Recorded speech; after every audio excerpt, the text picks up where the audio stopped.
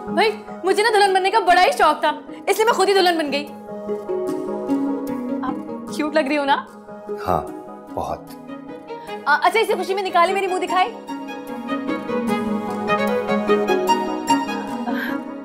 हाथ तो छोड़ दे मेरा। अब तो सारी ज़िंदगी नहीं छोड़ूँगा।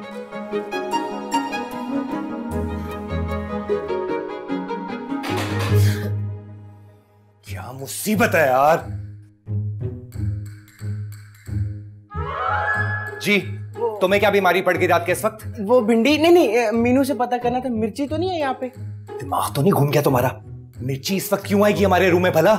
ओ सॉरी ये तो मैंने सोचा ही नहीं।